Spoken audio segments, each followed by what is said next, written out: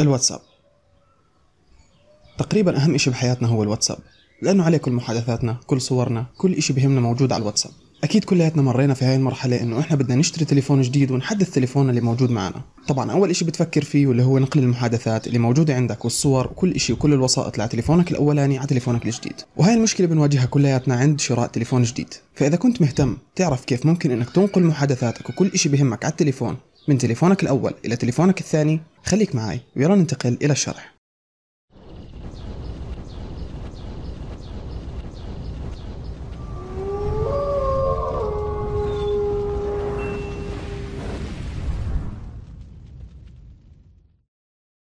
أهلا وسهلا فيكم أصدقائي بهالفيديو من جديد. اليوم راح أحكي عن ثلاث طرق لنقل محادثات الواتساب من تليفون إلى آخر. أول طريقتين راح يكونوا بدون برامج باستخدام الواتساب لحاله أما الطريقة الثالثة راح نستخدم فيها برنامج رائع جدا وبنصحكم إنكم تجربوا الطريقة الثالثة لأنه الطريقتين الأولى والثانية يعني فيهم شوية مشاكل. طيب بالبداية نفتح التليفون. هاي تليفوني زي ما إحنا شايفين. فلنفرض إنه هذا التليفون أنا بدي أبيعه أو مثلا أشيل الواتساب اللي موجود من هون وأحطه في تليفون ثاني. كل اللي عليك فقط إنك تفوت على الواتساب طبعا هاي الطريقة الأولى. بعد ما نفوت على الواتساب بنفوت على إعدادات الواتساب أو ال settings بعدين رح نفوت على إعدادات الشات أو المحادثات. بعدين بنفوت على chat backup أو استعادة المحادثات الاحتياطية. وبنعمل backup لل chat طبعا الطريقة الأولى والطريقة الثانية بنفس المبدأ من خلال ال backup الطريقة الأولى اللي إحنا فيها حاليا بتحكي لك إنه بتدخل على مدير الملفات بتأخذ آه، ملف الواتساب كامل وبتحطه في التليفون الجديد زي ما هو بعديها بتنزل الواتساب وبتفعل عليه الرقم. الطريقة الثانية بتحكي لك من خلال إيميل الجيميل أو الجوجل اللي عندك اللي أنت بتعمل backup عليه. بتسجل دخولك باستخدام التليفون الجديد بنفس الإيميل اللي عليه النسخة الاحتياطية هاي وبتستعيد آه، النسخة الاحتياطية اللي أنت ماخذها من محادثاتك على الجيميل. طيب الطريقة الثالثة راح نستخدم فيها برنامج جميل جدا وهالبرنامج اسمه Wondershare MobileTrans طبعا كل اللي عليك فقط إنك تحمله من الرابط اللي موجود أسفل الفيديو بالوصف بعد ما نحمله بنثبته بكبسة زر واحدة فقط. تستنى عليه لحد ما يخلص التثبيت راح يجي معنا بهالشكل. طبعا راح نفتح البرنامج double click وزي ما إحنا ملاحظين نسختي نسخة مجانية فبحكي له free trial إذا أنت ملاحظ في أكثر من ميزة وأنا شرحته سابقا بحكي لك phone to phone transfer بإمكانك تنسخ من تليفون إلى آخر. هون بحكي لك restore from backup إذا كنت ماخذ من خلال هالبرنامج نسخة احتياطية لتليفونك بإمكانك ترجعها. ومن هون بإمكانك تعمل backup نسخة احتياطية لتليفونك كامل. هون بحكي لك erase your old phone يعني إذا كنت حاب تبيع تليفونك بإمكانك إنك تعمل له حذف كامل عشان ما حدا يستطيع إنه يسترجع بياناتك اللي كانت موجودة على التليفون حتى بعد حذفها. فإحنا كل اللي بهمنا بهالفيديو أول خيار اللي هو phone to phone transfer. وزي ما إحنا شايفين بالأسفل كاتب لك كتابة بيحكي لك بإمكانك تنسخ من تليفون إلى تليفون إيش ما كان نوعه. فبندخل عليها. طبعا أنت بدك تكون شابك التليفونين على الكمبيوتر باستخدام سلك ال USB ولكن لازم تكون مفعل المصادر غير المعروفة على التليفونين unknown resources. طبعا زي ما إحنا ملاحظين هون على التليفون أعطاني always allow from this computer. بنحكي له صح هون عليها وبنحكي له okay طبعا على التليفونين بتعمل هذا الإشي وبتحكي له okay تمام التمام زي ما إحنا ملاحظين تليفون ال S7 هو اللي عليه محادثات الواتساب اللي أنا بدي أنقل منه على التليفون الثاني.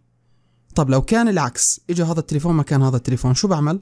تكبس flip من هون لأنه التليفون الشمال هو اللي بده يتم النقل منه. خليني أرجع flip كمان مرة زي ما إحنا ملاحظين هون عندي ال S7 اللي بدي أنقل منه على التليفون الثاني. خلينا نشوف شو بإمكاننا ننقل. بإمكانك تنقل ال contacts من هون الأسماء ال text message الرسائل النصية الرزنامة اللي موجودة على التليفون ال call logs أو سجل المكالمات ال photos الصور ال music أو الصوتيات ال videos أو الفيديو بالعربي هي نفسها طبعا apps اللي هي التطبيقات وال app data اللي بيهمنا بهالفيديو ال apps وال app data راح تختار apps وتختار app data apps على أساس إنه ينقل لك التطبيقات من التليفون الأول إلى التليفون الثاني وال app data على أساس إنه يأخذ لك معلومات وبيانات التطبيقات اللي تم نقلها ويركبها في التليفون الثاني على نفس اسم التطبيق على أساس إنك لما تفتح التطبيق بالتليفون الثاني كأنك فاتحه على التليفون الأول ما يتغير عليه ولا أي شيء طبعا بتنتظر على البرنامج زي ما إحنا ملاحظين بيعمل عملية load. بتنتظر عليه لحد ما يخلص هون عملية ال load أو البحث داخل البرن... داخل التليفون عفوا. وزي ما أنتم شايفين لساته بيعبي هون. فبتنتظر عليه خليني أستنى لحد ما يخلص وبرجع لكم.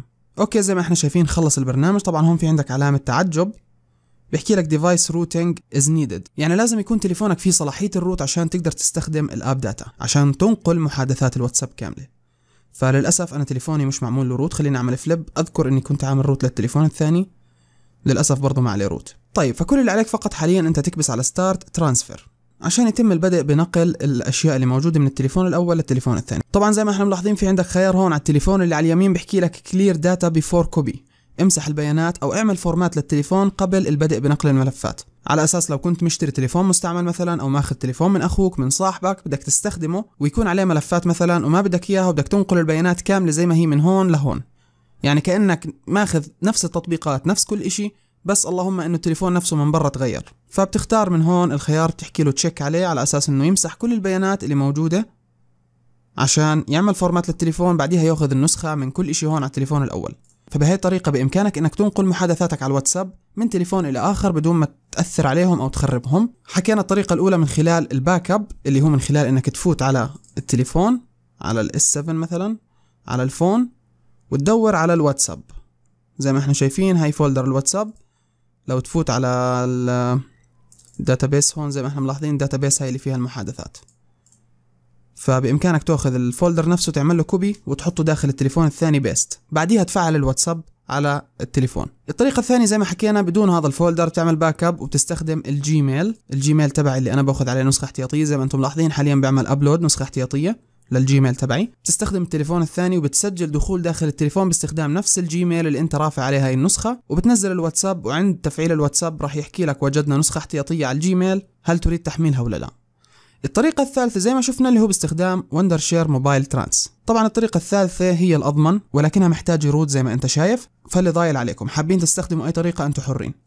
اللي حاب إنه يجرب البرنامج ويستخدمه كان في هاي الطريقة أو بطرق أخرى زي ما حكينا بإمكانك تعمل كثير شغلات فيه غير نقل الملفات من تليفون إلى تليفون بإمكانك تعمل backup نسخة احتياطية للتليفون ترجع النسخة الاحتياطية أو تحذف البيانات من تليفونك على أساس إنه ما حدا يستعيد هاي البيانات حتى لو انحذفت. فالبرنامج كثير مفيد بتمنى إنكم تزوروا الرابط اللي موجود أسفل الفيديو بالوصف وتفوتوا على موقعهم وتنزلوا البرنامج. البرنامج مش كبير جدا صغير يعني بس كل اللي عليك إنك تكبس على كبسة try it free وراح يكون داعم إلنا إذا بتدخلوا على رابط التحميل الموجود أسفل الفيديو بالوصف. كان بالوصف أو بأول تعليق. وهذا كان كل اللي معي بهالفيديو. إن شاء الله يكون الفيديو عجبكم. إذا عجبك الفيديو لا تنسى تعمل like للفيديو وتشترك بالقناة إذا ما كنت مشترك فيها. ويا ريت تشوف الفيديوهات اللي راح تظهر لك هون بجانب الشاشة. لهون صار لازم أودعكم وأحكي لكم. شكرا للمشاهدة ويعطيكم العافية. كان معكم أخوكم سعيد من قناة Breaking Wolf السلام عليكم ورحمة الله تعالى وبركاته.